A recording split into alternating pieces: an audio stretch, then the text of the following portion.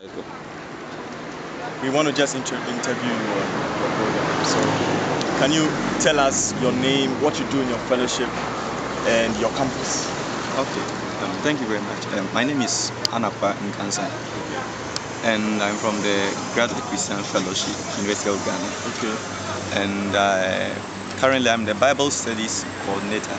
I actually double as a hostel coordinator Okay. um, at the same time. So that's what I do.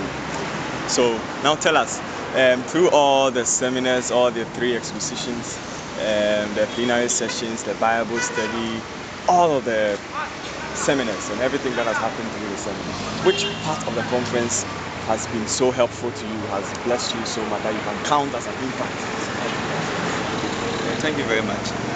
I believe gen- generally I've been impacted by uh, every bit of or every session of the seminar or the conference, but maybe I'll talk about a few for the exposition. Yeah.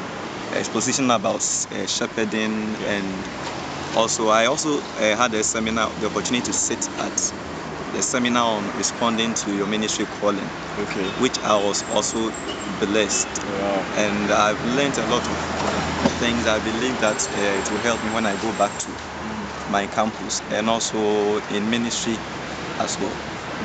Okay, so tell me, as a Bible study coordinator, um, what what new thing are you going to initiate in the fellowship when you go back?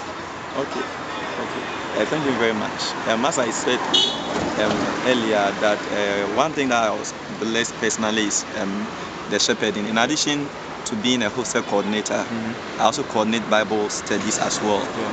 And one thing that I have learned, which I am going to do when I go back, is actually not just being concerned about um, the just the spiritual uh, life of members, but also to be visiting them to know how they are doing. There are times that you, you meet a member maybe outside the hall or outside the hostel. Possibly I have to spend some time to know how they are doing to let them know that uh, I'm also concerned uh, about them. So that's what I've learned that I believe will help when I go back. Okay, is this your first time in a, in a seminar like this? Um, no, In GHAFES? no. I think uh, I've been to, I think this is the third conference that I've been to. I've been to Isakaris and then, then Ezra.